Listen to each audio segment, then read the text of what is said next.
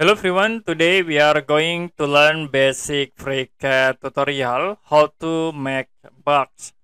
To make box, you can use part and part design tools. So Indra will create new drawing, change into part, and you can click these box icons to create a box. If you want to change size, you can select the box or cube and then go to data tab. You can click it like I will set length into 20 width 20 and height 20 like this.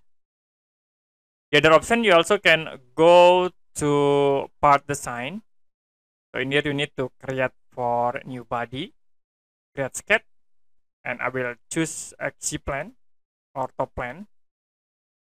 Now you can create rectangle set the dimension. Set into 20 and then for width set 20 click close and then use pad tools. Set for the length into 20 and then click ok. So we have this two box object Okay, that's it for basic FreeCAD tutorial, how to make a box. If you have any question about tutorial, you can comment below this video.